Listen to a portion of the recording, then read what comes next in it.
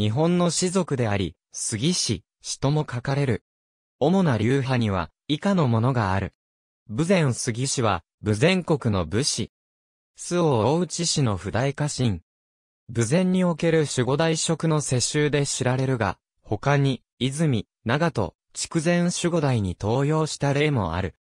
戦国時代の本拠は武前ながら、大内氏本拠の山口県域にも一族は多く、幕末の吉田松陰の実家などが知られる。応永18年の書状では、本姓兵士だが、系図には、大内氏と接続されているものがあり、細かな事情は不明である。泉杉氏は、薩摩御家人で、足利高氏に従い肝付金重に抵抗した、杉道後、保右府氏などが記録に残る。泉宗ゲスの氏族で、杉は、荘園内の地名に由来する。犬鳴の杉氏は、筑前国倉手軍の国人で、室町時代には、武前杉氏の支配下にあった。長宝2年、犬鳴川流域の豪族公、井田並戸口による築城に始まり、八代目の公、井田重著が、自称、樹営の乱での先行により、源頼朝が、平家与党の山賀周縁から没収した、かゆたどころの300丁を与えられたが、この際に、新たな名字として、杉を授与され杉十糸口を称したという。姓は源氏や鹿賀氏族の杉氏は水、乃木順流である。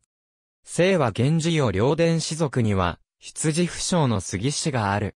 宇田源氏佐々木氏族にも、羊不詳の杉氏がある。宮氏所流有知氏は、藤原氏公平、杉金幸流を称する。諸武将の家紋を列挙した、羽根継ぎ元合戦記には、紀保丹は、杉家紋との記述があるが、上記のいずれの杉氏を指したものかは不明である。なお、以下の記事は、武前杉氏についての記述である。一般に初代とされる、杉貞弘は、官能の上乱当時に、足利忠冬の武将として記録される人物で、官能3年には同じく、忠冬配下の内藤当時と共に対立勢力の大内広代と、たびたび交戦している。大内広代は、昌平一党後に一時忠冬に属したが、最終的には離反、この頃に忠冬の消息も途絶えた。昌平一党以後の杉氏については、資料が少ないが、上乱発生から半世紀後に広代の子、義弘が起こした応永の乱の頃には、完全に義弘の勢力に組み込まれており、応永期には大内配下の武将として、杉文後入道、杉備中神、杉九郎などの名が見える。大内氏の晩期となる、義興、義高の時代には、杉赤と呼ばれる八つの家系があったとされるが、その系図は明確ではない。この頃には、筑前守護代や、武前守護代家を中心に、九州方面の攻略を務め、大友氏、小西氏と、博多や太宰府の支配権を争った。天文20年に発生した、東春方の無本劇では各、家で対応が分かれるなど大きく混乱、大内氏の滅亡を生き延びた家も貴族先は、対立し合う、毛利法、大友方に分かれた。尊王上位思想家の吉田松陰や松下尊塾、創立者の玉木文之進を輩出した幕末の毛利藩家氏、杉氏はこの暴流とされる。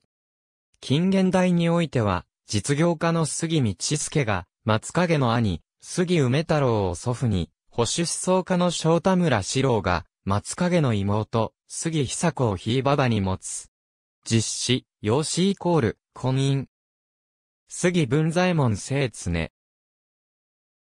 七路兵正幸吉田智之城、重則。文左衛門特教、また五郎則帝十郎左衛門宗行。七兵衛常則田三郎則立て、乃木望み寺半編。滝子イコール、ゆりの助浄土大助権領分の新マレスケ二十、老のり行。彦助正義イコール杉豊子久の理事家。正幸。梅太郎修道、大二郎のり方、吉子久子津也子美和子敏三郎。イコール小玉博之イコール小、田村伊之助イコール草加義助。愛次郎千歳イコール梶取そび子五歳。道助。玉木正義イコール豊子小太郎滝子美智子、小三郎聖四郎梅子静子。イコール杉愛二郎イコール伊藤観作。倉三彦熊。ありがとうございます。